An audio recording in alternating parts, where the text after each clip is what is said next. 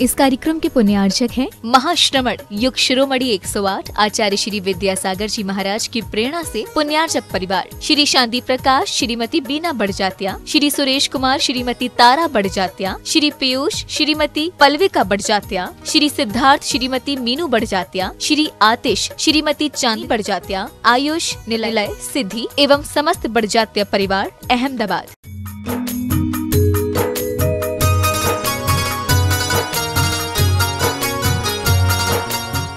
सबरी राम श्याम बनाओ कि एक बार आओ गुरुदेव। दर्श दिखलाओ गुरुदेव। कि एक बार आओ गुरुदेव। दर्श दिखलाओ गुरुदेव। मीरा ने भक्ति में अपने श्याम को ध्याया था। भक्ति में भी शबरी ने श्री राम को पाया था। कौन सी भक्ति करूँ मैं गुरुजी, तुम मेरे घर आओ। मैं ही मीरा मैं ही शबरी राम श्याम बन आओ। कि एक बार आओ गुरुदेव दर्श दिखलाओ गुरुदेव। कि एक बार आओ गुरुदेव दर्श दिखलाओ गुरुदेव। मैंने गुरुवर तुमसे मन की बात छिपाई है। हो मैंने गुरुवर तुमसे मन की बात छिपाई है। अपने मन की वेदी पर तेरी छवि बिठाई है। भटक जो जाऊँ, गुरु, अगर तो थाम मुझे तुम लेना। मैंने तुमको अपना माना ध्यान भी मुझ पर देना कि एक बार आओ गुरुदेव दर्श दिखलाओ गुरुदेव कि एक बार आओ गुरुदेव दर्श दिखलाओ गुरुदेव। नमोस्त हमारे बीच में शास्त्र भेंट करने के लिए श्रीमान नेमी चंद जी सुशीला देवी सत्येंद्र जी मोहित सिंपल जैन दुर्ग से पधारे हैं। आए। शास्त्र भेंट कर आशीर्वाद प्राप्त करें। नेवरा के नवयक मंडल भी यहाँ उपस्थित है। उनसे भी निवेदन करता हूँ, श्रीफल भेंट कर आशीर्वाद प्राप्त करें। आप सभी से पुनः निवेदन अपने स्थान पर बैठ जाएँ। हमारे बीच में आदरणीय मनीष जी, मनोज जी, नेवरा, पंचकराणा के प्रमुख आपसे भी निवेदन आए। श्रीफल भेंट कर आशीर्वाद प्राप्त करें। चलिए पूज्य गुरुदेव के पूजन के लिए चलते हैं, जो कि सौभाग्य प्राप्त हुआ नेवरा नगर को। आइए। ओ बाबा, पधारो बाबा। आओ बाबा, विराजो बाबा। आचार्य श्री के चरणों में झुका रहा अपना माथा। कलश कहना गम का वह सुधा कलश जो बिखराते हैं गली गली जो बिखराते हैं गली गली जिनके दर्शन को पा करके।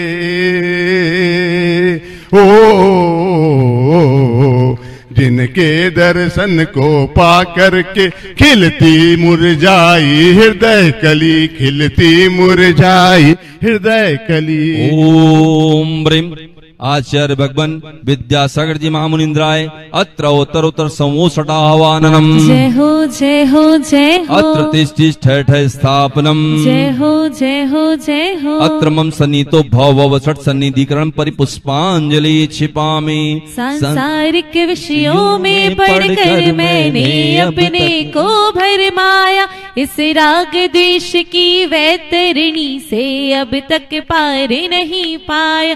तब विद्या सिंधु के जल कण से भव कालुष धोने आया हूँ। आना जाना मिट जाए मेरा, यह बंद काटने आया हूँ। ओम ब्रह्माचार्य भगवान विद्यासागर जी महामुनिंद्राय, जन्म जरा मृत्यु विनाशनाय जलम निर्वपामिति। क्रोध अनल में जल जल कर अपना सर्वस्व लुटाया है। निज शांत स्वरूप न जान सका, जीवन भर इसे भुलाया है। चंदन सम शीतलता पाने अब शरण आपकी आया हूँ। संसार ताप मिट जाए मेरा, चंदन वंदन को लाया।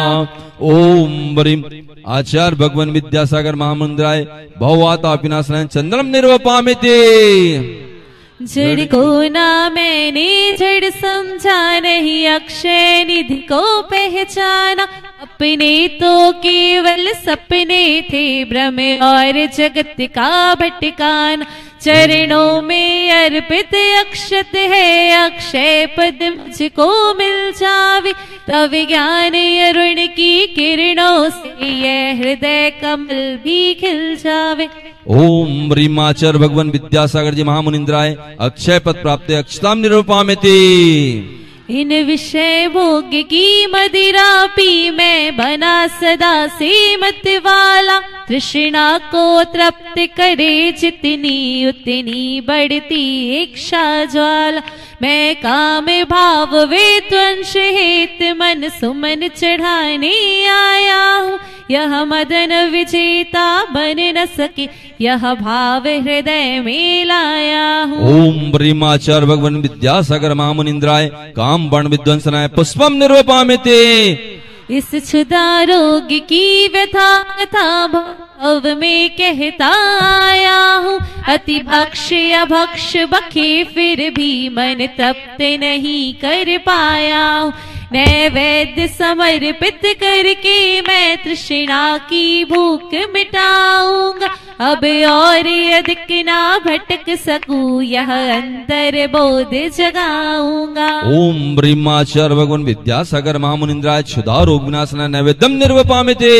मोहांधिकार से व्याकुल हो निज को नहीं मैंने पहचाना। मैं राग द्वेष में लिप्त रहा इस हाथ रहा बस पछताना। यह दीप समर्पित है गुरुवर मेरा तम दूर भगा देना। अब ज्ञान दीप की बाती से मम अंतर दीप चला देना। ओम ब्रह्माचार्य भगवान विद्यासागर महामुनिंद्राय मोहांत कर विनाशना दीपम निर्वपामिते इन यश कर्म ने घेरा है, मैंने अब तक यह माना था। बस पाप कर्म, तुझ पुण्य कर्म को चाह रहा अपनाना था शुभ अशुभ कर्म सब रिपुदल है, मैं इन्हें चलाने आया हूँ। इसलिए गुरु जी के चरणों में अब धूप चढ़ाने आया हूँ। ओम ब्रह्माचार्य भगवान विद्यासागर महामुनिंद्राय अष्ट कर्म कर्मदानाय धूपम निर्वपामिति। भोगों को इतना भोगा कि खुद को ही भोगे बना डाला। साधे और साधक का अंतर मैंने आज मिटा डाला। मैं चिदानंद में लीन रहूँ, पूजा का यह फल पाना है। पाना था जिसके द्वारा वह मिल बैठा मुझे ठिकाना है। ओम रिमाचार भगवान विद्यासागर महामुनिंद्राय मोक्ष फल प्राप्त फलम निर्वपामिते। जग की वैभव को पाकर मैं निश दिन कैसा मस्त रहा। चारों गतियों की ठोकर को खाने में ही अभ्यस्त रहा। मैं हूँ स्वतंत्र ज्ञाता दृष्टा मेरा पर से क्या नाता है? कैसे अनर्ग पद पा जाऊँ यह भक्त भावना भाता ओम ब्रीम आचार्य भगवान साक्षात विराजमान इनके चरण में मन वचन काय से अनर्ग पद प्राप्त अर्घम निरूपामिते। भावों की निर्मल सरिता में अवगाहन करने आया हूँ। सबका सारा दुख दर्द हरो यह अर्घ भेटने आया हूँ। हे तपो मूर्ति हे आराधक हे योगीश्वर हे महाशंत है अरुण कामना देख सके युग युग तक आगामी बसंत मुस्का के हौले हौले गुरुवर भक्तों से बोले मुस्का के हौले हौले। गुरुवर भक्तों से बोले कि मैं हूँ ना। क्यों चिंता करता है मेरे होते क्यों डरता है? ओम ब्रीम आचार्य भगवान साक्षात विराजमान तिनके चरण में मन वचन का ऐसे अनर्घ प्राप्त पूर्णार्गम निर्वामिते। आइए हमारे बीच में रायपुर बड़े मंदिर से भी महिलाएँ आई हैं, वहीं खड़े होकर आशीर्वाद प्राप्त करें। आइए पूज्य गुरुदेव के चरणों में चलूँ। आचार्य भगवान विद्यासागर जी महामुनिराज की। निर्यापक श्रवण प्रसाद सागर जी, मुनिराज की। चंद्र प्रभ सागर, मुनिराज की। पूज्य गुरुदेव निरामय सागर जी, मुनिराज की। नमो सिद्धाणं नमो आयर्याणं नमो अध्यायाणं नमो लोये सभ्यसाऊणम् निवरा के श्री शांतिनाथ भगवान की। जय। गुरु नाम गुरु आचार्य ज्ञान सागर जी महामुनि राज की। मुख माटी रचयिता आचार्य परमेश्वरी गुरुदेव की। पूज्य निरापक मुनि श्री समय सागर जी योग सागर जी नियम सागर जी सदा सागर जी समता सागर जी अभय सागर जी महाराज की। मुनि श्री चंद्र सागर जी व निरामय सागर जी महाराज की। परम पूज्य प्रसाद सागर जी मुनिराज की। नमोस्त भगवान नमोस्त भगवान। खुराक जानते क्या कहलाती है? पशुओं की खुराक अलग रहती है, इंसान की खुराक अलग रहती है, पक्षियों की खुराक अलग रहती है। खुराक मतलब जिसके द्वारा शरीर चलता है, इंद्रियों का पोषण होता है, और ये जितने भी अपने कार्य होते हैं, उनको पूर्ण करने के लिए वो खुराक के माध्यम से एनर्जी कैलोरीज जिसको बोलते हैं, ऊर्जा प्राप्त होती है। ये तो शरीर की बात हुई। अब मन की बात लेते हैं तो मन की खुराक की भी बात आती है कि मन की खुराक क्या है। लोग यहाँ दर्शन करने आते हैं गुरु जी के दर्शन करने आते हैं, भाई आपने दर्शन कर लिया, अब आगे बढ़ो आप, दूसरों को मौका दो। तो क्या कहते अभी मन नहीं भरा। क्या कहते हैं आप लोग? मन नहीं भरा। स्वाभाविक है, क्योंकि मन की खुराक इस प्रकार की है, क्योंकि द्रव्य छेद काल भाव के अनुसार ही कर्म फलीभूत होते हैं। द्रव्य अच्छा है और क्षेत्र भी अच्छा है तो देव साधु चरणों में आने पर भी ऐसे भाव हो जाते हैं कि हमारे मन की अभी पूर्ति मन नहीं भरा है मतलब मन की खुराक पूरी नहीं हुई है। लेकिन आम आदमी की बात कर रहे हैं, उनके लिए तो यही कहा जाता है कि अनादिकाल से कसाएँ लगी हुई हैं, प्रत्येक जीव को लगी हुई हैं। हम हम आपकी हम आपकी आपस की भी चर्चा करते हैं, इंसान की चर्चा करते हैं। क्योंकि उसी के पास मन होता है, मन तो पक्षियों पशु में भी होता है, संगी पंचन से भी कहलाते हैं। और चूँकि मानव जाति के अंतर्गत हम सब आते हैं इसलिए उसकी चर्चा कर रहे हैं। तो मन की खुराक क्या है? तो मन की खुराक तो एक प्रकार से है तो मान कसाय ही है। मान कसाय के द्वारा ही मन की खुराक की पूर्ति होती है। यदि मन की खुराक पूरी नहीं हुई, संचालक महोदय को थोड़ा बोलने समय पर्याप्त नहीं मिला और उन्होंने तो पूछा ही नहीं। और महाराज जी के लिए पूरे समय नहीं तो उनको लगे, अरे, हम हमको समय कम मिला है।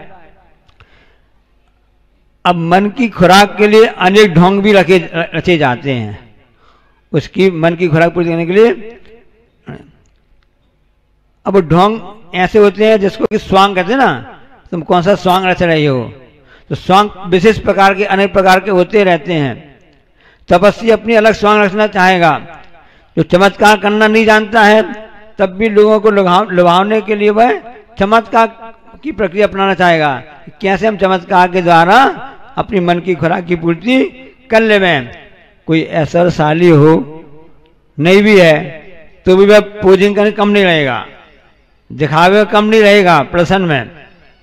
घर में खाने को भलाई ना हो, ढंग से ना हो, लेकिन वो किराए के कपड़े पहन लेगा, चश्मा पहन लेगा, कैप पहन लेगा, और कोई ना कोई मोटरसाइकिल लोन में तो उठा लेगा। हज़ार रुपए महीने की किस्त भरनी पड़ेगी तो भलाई पर्याप्त पैसा नहीं है।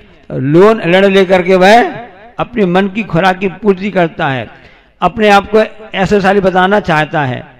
यहाँ तक कि सुन, सुनने में आया है कि जहाँ कहीं लड़का है लड़की देखने के लिए आने जाने वाले रहते हैं ना समाचार मिल जाते हैं तो किराए का सामान ले आते हैं या किसी दूसरे मकान में शिफ्ट हो जाते हैं ताकि जो देखने वाले आए देख के नक्की कर दें कि हाँ भाई हमें घर द्वार पसंद है। किसी भी पक्ष का हो, चाहे बर का हो, चाहे बधु का है। ये सब मन की खुराक की बात होती है। धार्मिक व्यक्ति भी मन की खुराक चाहता है। अपने आप को धार्मिक बनाने का करने का प्रयास करता है। इसके लिए ढोंग भी रचे जाते हैं सॉन्ग भी रचे जाते हैं। इस हिसाब से अलग प्रकार की बात होती रहती है। तो केंद्र बिंदु में क्या है मन के? मन के केंद्र बिंदु में देखा जावे तो एक ही बात सामने आती है कि वह मान कसाय का ही पोषण करने की बात होती है। इस स्वांग रचे जाते हैं। एक कथानक याद आ गया कि एक, एक भिखारी भीख मांग रहा था। तो उसने व्यक्ति से कहा कि बाबूजी बाबूजी हमको बीस रुपए दे दो।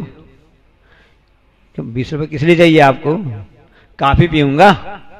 आज काफ़ी पीने की इच्छा हो रही है। ठीक है। अरे हमको तुम बताते हो दस दस रुपये काफ़ी आती है। दस रुपए में एक कप जाती है ये लो, दस रुपए ले लो। ऐसे काफ़ी पी लेना। नहीं बीस रुपए चाहिए। क्यों क्यों चाहिए? नहीं, मेरी गर्लफ्रेंड है ना, उसको काफ़ी पिलाना है। सुनना। तो व्यक्ति बोलते अरे, तू भिखारी है। उसका ठिकाना है नहीं है। और तूने अपनी एक ऐसी गर्लफ्रेंड बना के रखी है। ये कोई अच्छा माना जाता है। तो क्या उत्तर दिया भिखारी ने? नहीं, मैंने उसको अपना गर्लफ्रेंड नहीं बनाया है। उसने हमको अपना बॉयफ्रेंड बनाया है। ये स्थिति बनी, यानी इसको स्वांग ढंग बोलते हैं ना, ऐसे अलग स्वांग ऐसे रचे जाते हैं से अपने को अच्छा बताने के लिए, करने के लिए। उसके लिए साम, दाम, दंड, भेद कुछ भी अपनाया जा सकता है। कल लोगों ने बताया, परिणाम वगैरह आ गए आप लोगों के यहाँ पर के, क्योंकि ये प्रजातंत्र है। अब किसी ने परसों बताया था कि सभी पार्टियाँ, जो राजनीतिक पार्टी होती है ना तो वो जब चुनाव में खड़ी होती हैं तो अपने अपने हिसाब से अपना क्या प्रश्न करती हैं? नहीं, अपना घोषणा पत्र प्रश्न करते हैं। सब घोषणा में तो कहते हैं कि हम ऐसा करेंगे, ये करेंगे ये करेंगे करेंगे ना। उसमें उस लेख में आया था संपादकीय लेख में आया था ना, चाहे कोई भी पार्टी हो अभी अचासी से किसी ने कहा था अचासी आप कौन सी पार्टी के हैं? रास्ते की बात है। आचार्य ने बहुत अच्छा कहा था, हम तो अहिंसा पार्टी के हैं। जिस धर्म में अहिंसा की रक्षा होती है, सत्य का पोषण होता है, उस पार्टी के हम हैं। लेकिन वर्तमान में तो अहिंसा, सत्य, अचौर, ये सब, अचौर, ये सब तो गायब हो गया है। पता नहीं कहाँ चला गया है। तो पार्टी अपने घोषणा पत्र जारी करती है, सभी प्रकार के ये सब करती है, लेकिन कभी भी कोई भी पार्टी वाले ने ये नहीं कहा कि हम भ्रष्टाचार को कम करेंगे।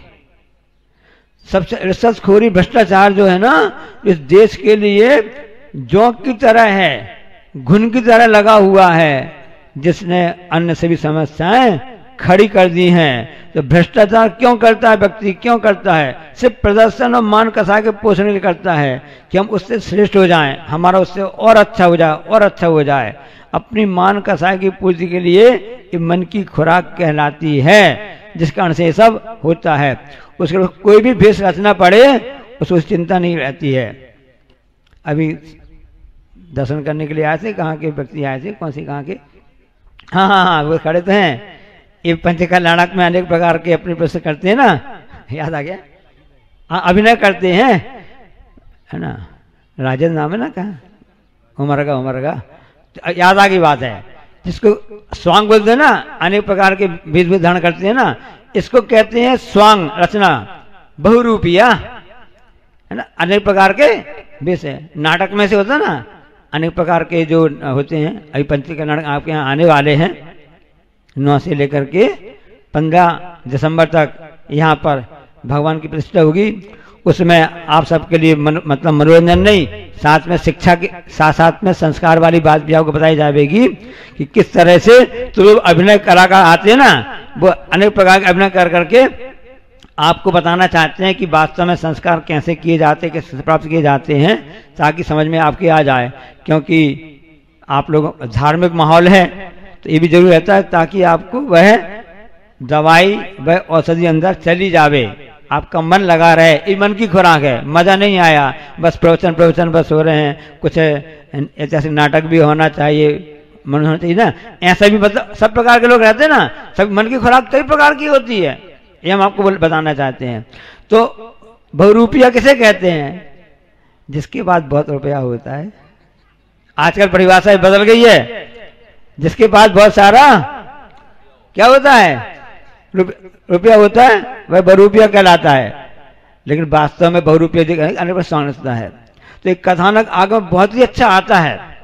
और उसको आपको प्रदर्शन देखने मिलेगा भी, आपने किया भी होगा। एक व्यक्ति था जो अनेक रूप बदलने में माहिर था। अभिनय, कला कला भी एक बहुत बड़ी वस्तु होती है। किला किला की बात नहीं, कला की बात कर रहे हैं। एक काका काले कर हुए हैं, अच्छे दर्शन शास्त्र के और गांधी विचारधारा थे ना। उन्होंने लिखा, शिक्षा की देवी क्या कहलाती है? तो शिक्षा की देवी को उन्होंने पूर्ण किया है कि उसके धैर्य फेंपड़े हैं मस्तिष्क उसका ज्ञान है और कला कला और उनके साथ में कोई उसके दोनों हाथ हैं। कला किसी को ऐसा गार्ड गिफ्ट रहती है और पुरस्कार प्राप्त की जाती है। संगीत कला है पेंटिंग कला है, रंगोली कला है, मेहंदी कला है अभिनय कला भी कहलाती है, जिसको बहुरूपिया कहा जाता है। तो एक व्यक्ति बड़ा उसमें माहिर था। अनेक प्रकार सॉन्ग रचने में भाई माहिर था। उससे कहा गया तुम तो ऐसा रचो, उसी ढंग से करता था। उसके लिए अभिनय होता है। जितने भी फिल्मी कलाकार होते हैं, वो अनेक कला तो करते नहीं करते हैं। कहीं कोई कुली बन जाता है, कभी बूढ़ा बन जाता है, बूढ़ी बन जाते ऐसे होते हैं। कहीं डाकू बन जाते इंस्पेक्टर बन जाते हैं। और कई प्रकार के नेता वगैरह बन के कला दिखाते हैं। तो उससे कहा तुम अपना कला का प्रदर्शन करो। तो उसने कलाकार ने एक शेर का रूप धारण कर लिया। शेर का धारण कर लिया और जैसा शेर दहाड़ता है, वैसे वैसे दहाड़ने लगा। और दहाड़ते दहाड़ते वह वहाँ पर समझ का ये बहुत अच्छा कलाकार है, इसकी कला तो देखने लायक है। पता नहीं चलता कि असली शेर कौन है और ये व्यक्ति है कि शेर है, पता चलता है। तो उस शेर तो बन गया। चलो तुम राजमहल चलो वहाँ, राजा बहुत आपको देख के खुश हो जाएगा। राजा ने उसको कहा था कि रूप बनाओ, सब करो। पहले बात हो गई थी। तो उसने कहा, राजन, हम रूप तो बना लेंगे शेर का, लेकिन कुछ गड़बड़ हो जावे तो हमको क्षमा कर देना। कुछ भी गड़बड़ जाए एडवांस में उसने अपने पास रख लिया था। कि कुछ भी ऐसी घटना घटे कुछ जावे तो उसके खिलाफ हम क्षमा कर देना। कोई दंड वगैरह हमको नहीं मिलना चाहिए। हाँ ठीक है तो हमको बात स्वीकार है, शर्त स्वीकार है। आजकल शर्तों पर चुनाव लड़े जाते ना। हमको तो ये बना दोगे, हम जीत जाएँगे तो हमको ये बनना पड़ेगा, तभी हम चुनाव लड़ेंगे। ये पोस्ट मिल जाए ये मंत्री शामिल करोगे शर्तें होती हैं। तो इसमें शर्त उसने कहा, ठीक है। और बस सचो में शेर बन करके उस राजा में आ गया। अब सबने कहा काय का शेर है?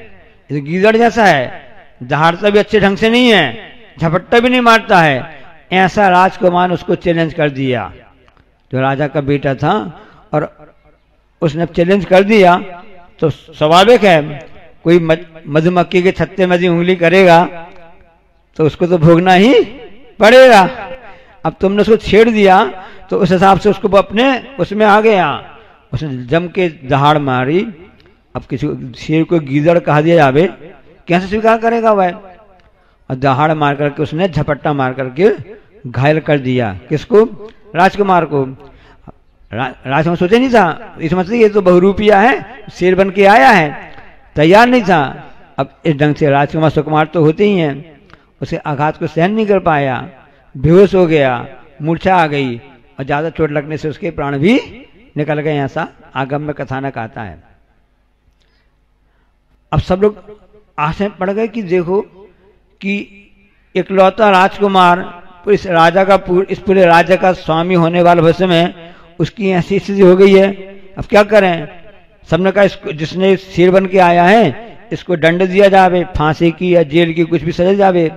राजा पहले वचनबद्ध तो हो गया था कि कुछ भी घटना होगी, उसने पहले से बोल दिया था, रघुकुल रीति सदा चले आई, प्राण जाए पर वचन न जाई। राजकुमार का वहाँ अवसान होने के बाद भी राजा ने उसके लिए जो बहुरूपिया था उसके लिए छोड़ दिया जो कि शेर का रूप बन करके अपना प्रसन्न कर रहा था। अब इस समय जब राजकुमार का अवसान हो गया अब किसी पिताजी का नौ, नौजवान ऐसा लड़का चला जाता है कितना दुख होता है। हम सब देखते हैं। संसार में ना राजा राणा छत्रपति हाथन का सवाल मरना सबको एक दिन अपनी अपनी दलबल देवी, देवता माता पिता परिवार, मरती बिरिया, जीव को कोई ना राखना तो कब अपनी सुविधाएँ, कब हमारी दुविधाओं में बन जाए, कह नहीं सकते हैं। इसलिए हमेशा गुरु जी कहते हैं कि बारह भावों का चिंतन हमेशा करते रहना चाहिए। वो प्रसंग आपके यहाँ देखने में आएगा। कब आता है? बारह भावना। तब कल्याण, तीसरा कल्याण दिन होगा? बारह तारीख को तेरह तारीख को पड़ेगा। तेरह तारीख को पड़े, तेरह दिसंबर को पड़ेगा। तो अब वह राजकुमार के चले जाने पर राजा बहुत ही दुखी रहने लगा है। मन नहीं लगता, सब करने लगता अब लोगों ने कहा, क्या क्या क्या जाए? और जो जो भड़कान भरने वाले होते ना, भड़का दिया। इसने जानबूझ करके किया है, महाराज, इस जो बहुरूपिया बना है ना जानबूझ से किया है, ऐसा है। अच्छा ऐसी बात है। तब क्या किया जावे? अब इसको फिर से चैलेंज करो। कोई ऐसा रूप बंद करके आए, फिर से दिखाए, तभी हम मानेंगे। अच्छा है। और लोगों ने सोचा कि चलो अच्छी बात है हिसाब से अपना हो भी जाएगा। सब विरोधी पार्टी होती है ना? क्योंकि मान का साय का मन की खुराक की पूर्ति करनी है। और उस खुराक की पूर्ति के अंतर्गत फिर उसके कहा कि तुम भैया, एक काम करो। मुनि महाराज होते, दिगंबर जैन धर्म होता ना तो मुनि महाराज बन के बताओ। तब हम जानेंगे कि तुम्हारा बहुरूपियापना सही है। सोचो कितने चैलेंज की बात है। अब प्रैक्टिस प्रयास पहले से पूरा अभ्यास करना पड़ता है। पूरा अभ्यास किया उसने मुनि महाराज बनने का। कैसे कृष्ण किया जाता है, कैसे खड़ो कर आहार लिया जाता है, किस ढंग से नंग अवस्था में सोया जाता है, बैठा जाता है। उसने पूरा अभ्यास रूप में किया। अभ्यास करते करते करते उस हिसाब से वहाँ से ऐसे बीधण करते हुए वहाँ से निकला। राजा ने दिखा रही महाराज जी आ रहे हैं। आइए आइए महाराज जी, और हमको प्रवचन दीजिए, कुछ उपदेश दीजिए। ऐसे निवेदन किया। तो उस जो बहुरूपिया, जो मुनि महाराज का भेद धारण कर लिया था, उसने हमारे प्रवचन सुना दिया। संसार तो नश्वर है ये शरीर तो हमेशा नष्ट होने वाला है, और से तो रिश्ते सब देखने वाले हैं। वर्तमान में जो राजा है रानी बन जाता है, कभी बेटा पिता बन जाता है। ऐसे अठारह नाती की कथा आती है वर्तमान योग में। कि पुत्री माँ बन जाती है, माँ पति बन जाता है, पति बेटा बन जाता है। ये तो इस भव के रास्ते हमको समझ में आ रहे हैं। लेकिन वास्तव में अनादिकाल से हम पिता बने, माता बने, लड़का बने, लड़की बने, नौकर बने मतलब सभी भवों में घूम के आ गया मनुष्य भाव हो या कोई भी गति हो। हमने तो हमने तो घूमी चारों गतियाँ न मानी जनवाणी की बतियाँ ऐसा कोई भी स्थान नहीं है इस जीव ने वहाँ पर न जन्म लिया हो, न कोई पर्याय को प्राप्त किया हो। अनेक पर्याय धारण कर चुका है। ये पर्याय बुद्धि जिसकी रहती है तो वह इसी प्रकार से आकुल व्याकुल होता है। जिसकी द्रव्य दृष्टि होती है कि आत्म एक तत्व ही है। और द्रव्य दृष्टि वाला अपने पर शांति रखता है समता प्रणाम रखता है। ऐसे बारह भानों का चिंतन करते हुए बैराग भान होकर अपने ध्यान ध्यान करके अपना कर्तव्य करता रहता है। ऐसा उपदेश मिला महाराज जी का उस राजन के लिए। राजन की आँख खुल गई कि हाँ वास्तव में मैं गलती में था। मुझको अपना सुख, दुख छोड़ करके असाता विधि बंध के कारण बनते हैं। उनको छोड़कर हमको प्रजा को देखना है। बहुत अच्छा प्रसन्न हो गया और कहा कि महाराज, आपने तो बहुत अच्छा काम किया है। हम आपसे प्रसन्न हो गए हैं। हम आपको इनाम में अब ये देना चाहते हैं। बहुत रुपया था। इनाम हम दे देना चाहते हैं। अब आप अपना पुराना वापस भेष धारण कर लीजिए। जो आपने सॉन्ग रचा था वेशभूषा रची उसको वापस आ जाइए। तो उसने क्या कहा? उसका नाम था ब्रह्म गुलाल। क्यों भाई, ऐसे ही है ना? उसका नाम ब्रह्म गुलाल था बहु बहुरूपिया था। उसने कहा, इस इनाम का क्या काम? ये परिग्रह कराता है, मैंने भलाई खेल खेल में और अपना प्रश्न करने के लिए इस भेष को धारण किया था। अब एक सभी भेद से बदल सकते हैं हम। अभी हम इस पार्टी में थे, हम उस पार्टी में जा सकते हैं। उस पार्टी से उस पार्टी में सकते हैं। हम दल बदल सकते हैं, हम भेद से बदल सकते हैं, लेकिन अब हमने जो भेद धारण कर लिया है, दिगंबर मुनि का भेद धारण कर लिया है। भलाई हमने तो स्वांग के रूप में धारण किया था। अब ये भेष अब बदल नहीं सकते हैं। जब तक प्राण रहेंगे, जब तक आयु रहेगी, हम इसी दिगंबर अवस्था में ही रहेंगे। संसार के सभी पाठ्यक्रम बदल सकते हैं। सुनना ध्यान से। चाहे पहली से लेकर के बारहवीं तक हो कॉलेज हो सीए हो, कुछ भी हो, सभी पाठ्यक्रम बदल सकते हैं।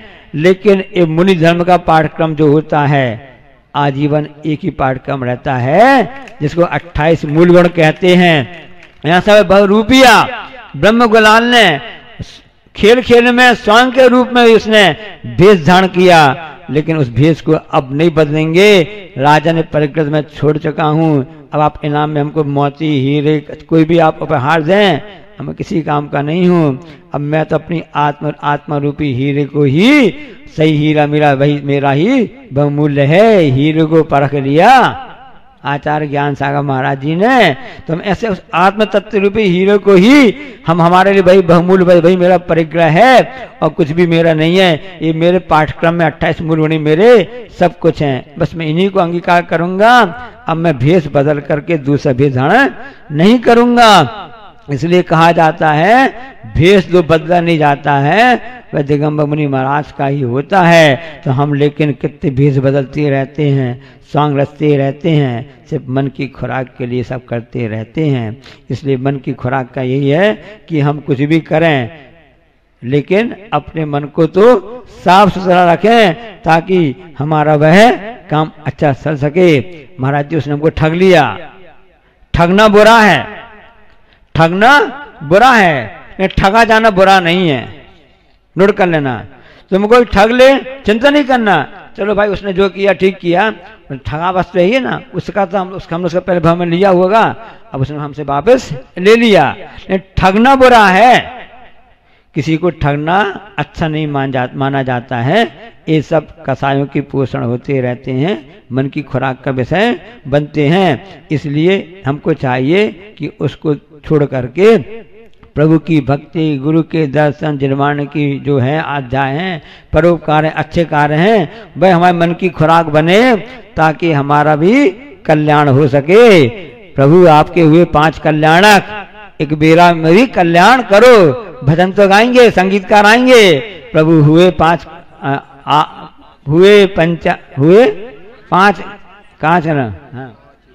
तेरे पाँच हुए कल्याण प्रभु, एक बार मेरा कल्याण कर दो। तो कल्याण कहने से नहीं होगा, करने से होगा। तो मन की खुराक हम अच्छी विषय वस्तुएँ बनाएँगे तो हमारा कल्याण शीघ्र होगा। और आप सभी लोग यहाँ पर पंचकर्ण देखने के लिए आए हैं, उनसे हमारी भावना और बलवती बने। पंच कल्याण की दृष्टि हमारी मन की खुराक बने, ऐसी भावना बांधना चाहिए। बोलिए, अहिंसा परमोधर ओम नमः शुद्धेभ्य। ओम नमः शुद्धेभ्य। ओम नमः शुद्धेभ्य। अहिंसा परमो धर्म की।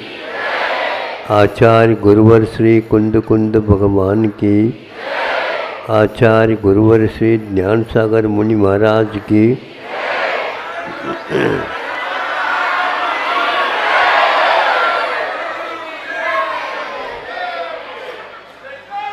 प्रातः काल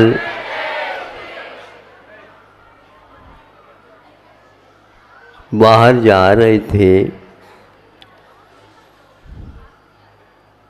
बादल दृष्टि में आ गए और सोचा, बादल अभी तक दो महीने में काले काले, नीले नीले। कपोत रंग के थे। अब यह शरद ऋतु है। इसमें भी बादल घूमते हैं, किंतु शुक्ल लेशा के हैं।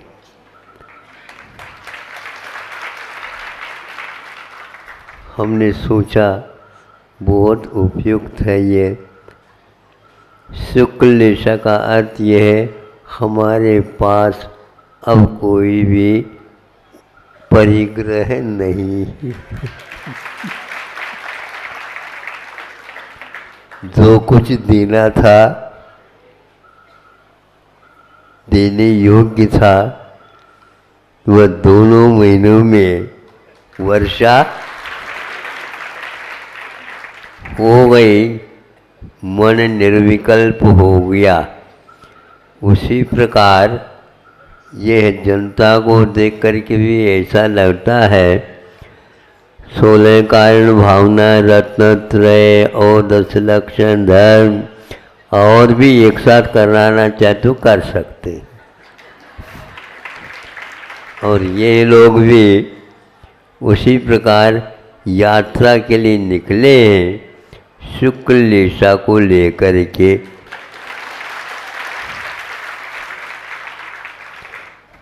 वो जो कोई भी और बचा हो, उसको भी सही ठिकाने पर लगाने का विचार बनाओ। वैसे मैं सोच रहा था कि सुबह भी दो बार दर्शन दे चुका हूँ वो और वैसे तो ये भूख लगी रहती है हमेशा हमेशा। पर्व को ही पोर बनाया गया है अपभ्रंश भाषा में। तो यह पर्व, इस पर्व का नाम क्या है? आचार्य ने कहा, यह पर्व का अर्थ पुरुषोपवास का प्रतीक है। हाँ। हमेशा हमेशा संतोष रखा करो।